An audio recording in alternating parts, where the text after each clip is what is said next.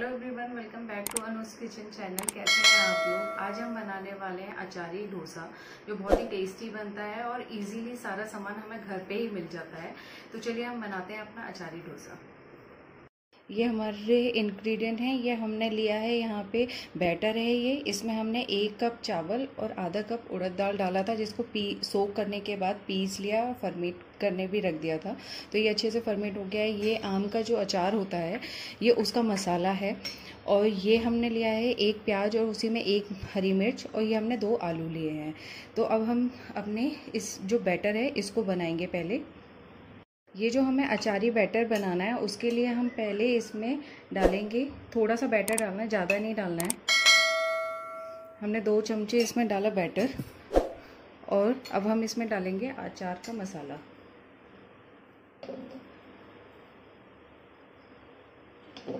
और इसमें हमने दो चम्मच अचार का मसाला डाल के अब हम इसको पीस लेंगे।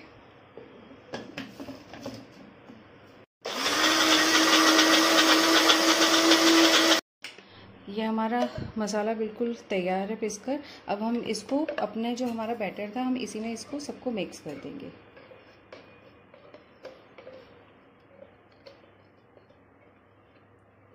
ये देखिए, हमारा बैटर बिल्कुल तैयार है। हमारा अचारी डोसे का बैटर बिल्कुल तैयार हो चुका है ये।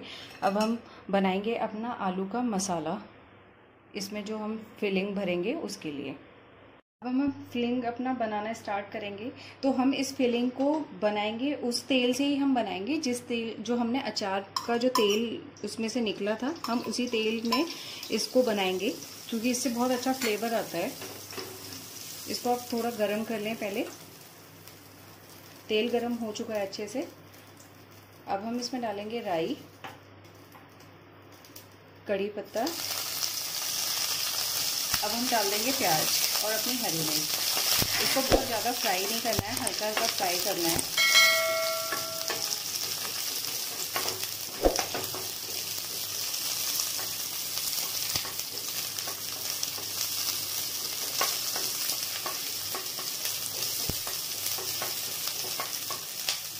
ये हमारी प्याज भून चुके हैं, हम इसको बहुत ज़्यादा नहीं भूनेंगे।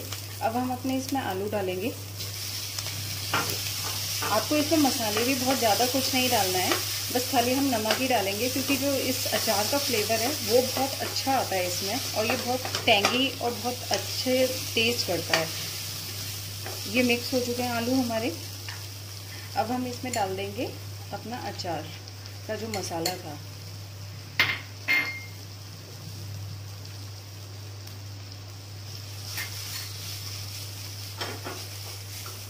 और अब हम इसमें डालेंगे सॉल्ट अपने टेस्ट के अनुसार डालें सॉल्ट को और इसको अच्छे से मिक्स कर लें.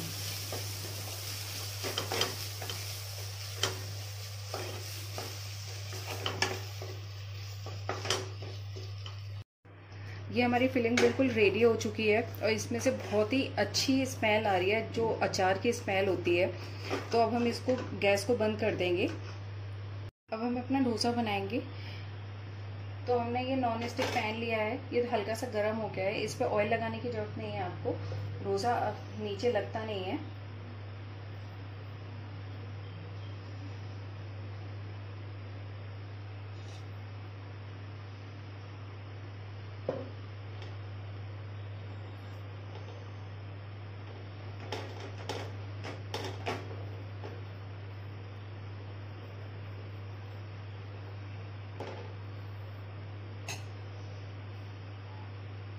अब हम इसको थोड़ा सा पकने देंगे।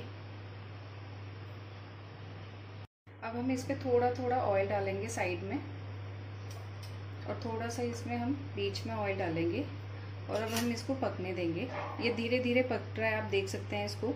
ये साइड से अपने आप निकलने लगता है जब ये प्रॉपर पक जाएगा खुद से।